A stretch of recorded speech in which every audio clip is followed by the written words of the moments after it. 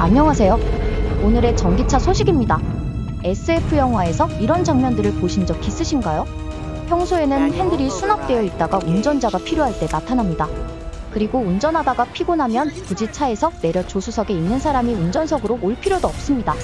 운전하는 중에도 핸들을 옆으로 이동시켜주면 됩니다. 물론 지금도 핸들을 조수석으로 옮길 수 있는 차가 있습니다. 벤츠의 유니목인데요. 이렇게 커버를 뜯고 영차영차 옆으로 옮기고 고정할 수 있습니다.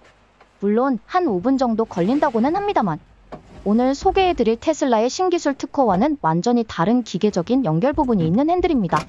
일반적인 차들은 핸들과 바퀴 사이에 축이 있어서 핸들의 움직임을 바퀴로 전달해주고 있습니다. 하지만 테슬라가 특허 출원한 steer by wire 시스템은 차량의 조향에 있어서 즉 핸들과 바퀴 사이의 기계적인 연결 장치를 완전히 없애버리고 와이어, 즉 전선으로만 연결되어 있습니다. 핸들과 바퀴 사이의 전선 말고는 연결된 부분이 전혀 없습니다.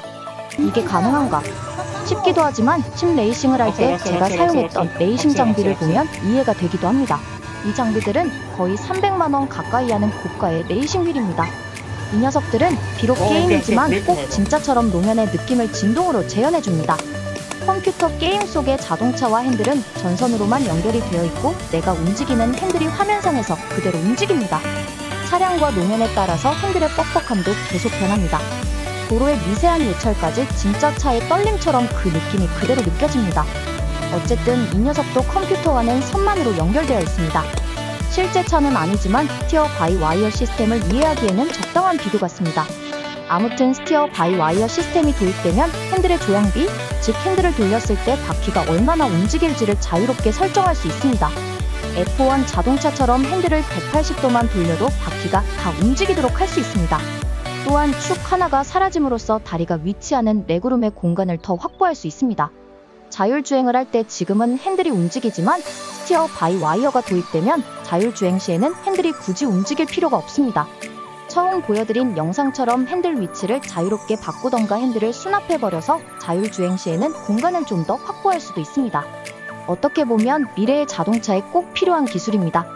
물론 단점도 있습니다. 정기적 신호로 움직이다 보니 차가 완전히 방전되면 차의 조향이 불가능합니다.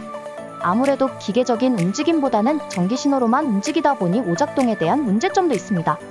최근 자동차들이 전자식 제어가 많이 들어간 이후로 급발진 등이 많이 생겼듯이 steer by wire 시스템도 초창기에는 오작동에 대한 문제로부터는 자유롭지 않을 겁니다. 어쨌든 자율주행과 robotaxi를 위해서 꼭 필요한 기술이 steer by wire 기술입니다. 앞으로 테슬라의 자동차들이 어떻게 발전할지 기대가 됩니다.